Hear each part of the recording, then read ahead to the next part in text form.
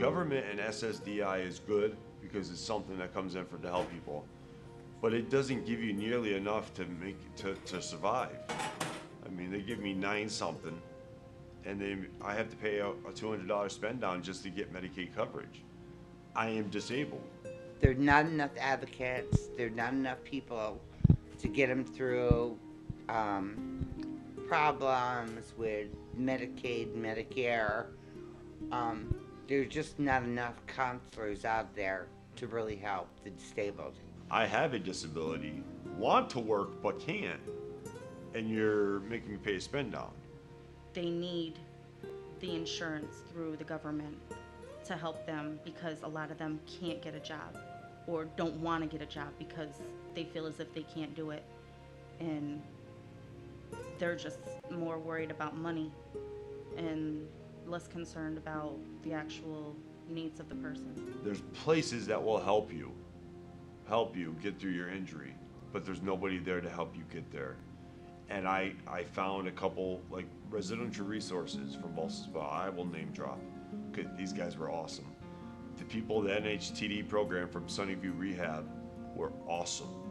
If I did not have those two ladies, Barbara Cataldo and Maureen Van Wert, if I did not have those two ladies in my life, I wouldn't be where I'm at in Scotia.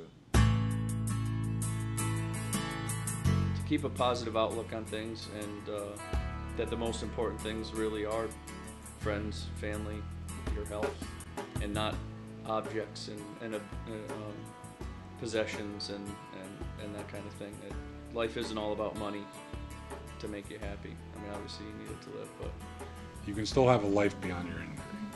Normally quadriplegics can't drive. Normally quadriplegics can't manually move a wheelchair. They can't get I've seen him get himself into bed once, once or twice. You know, he just breaks all barriers.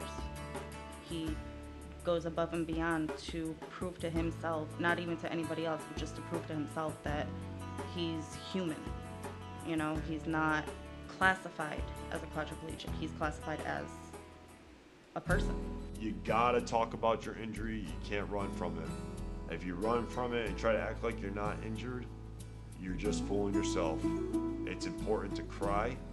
Get if you don't, you have to cry. You have to talk about it.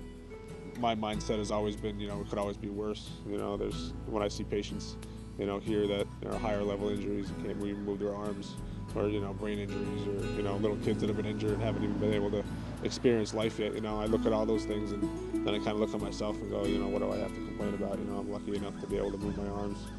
There are a lot of quadriplegics out there that have given up. And the whole thing is to learn not to give up, not to give up on your passions. I mean, Doug's going to radio and television now because has a purpose.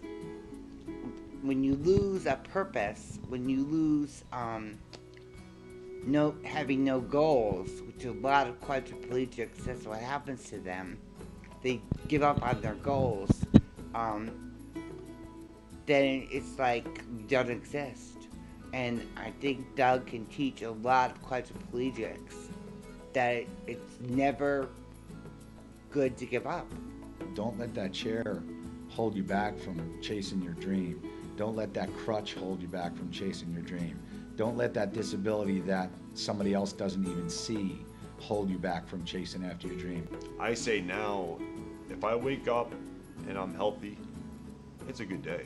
But I want that family. I want that house. I want the kids. I still want that.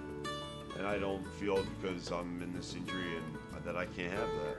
Well, I want to be treated just like everybody else. I'm, I'm Doug. and I know he will walk again one day. We'll be there watching him.